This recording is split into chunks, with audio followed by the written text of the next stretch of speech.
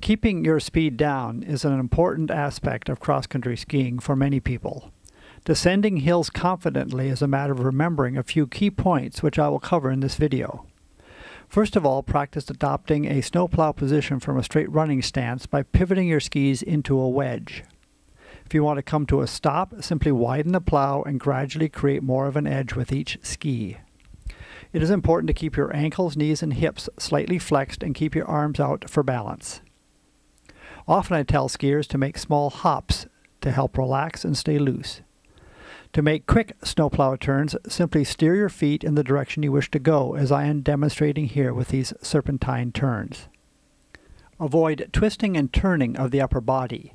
If this is your problem, try the shield drill by keeping your poles in front of your torso while your legs and feet turn the skis. Once you can make these turns confidently, try making larger snowplow turns, remembering to flex as you make the turn and then rise up slightly between the turns as shown here. It is important to slightly weight the outside ski and continue to steer your feet in the direction that you wish to go. Common problems that I frequently see are skiers that lean to the inside of the turn, thereby weighting the uphill ski. A good correction for this is to touch the outside knee as shown in this sequence.